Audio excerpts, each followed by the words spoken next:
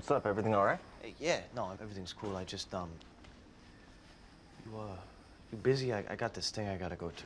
What thing? A disciplinary hearing. What'd you do now? No, it's nothing new. It's, uh. It's kind of like an appeal thing. Remember my old professor? He, uh, he called my college, you know, and asked them to reconsider my getting expelled. What does that mean? Like, like they might take you back? Yeah, I mean, you know, maybe. But, uh, Youens says I need a character witness, so. Character witness. What would I have to say? Fuck if I know. Tell him that I've changed. You know, tell him that I'm a upstanding member of society. You want me to lie for you? Kidding. When? It's at noon. All right, well, text me the address. I'll make some calls, see if I can get someone to cover my shift.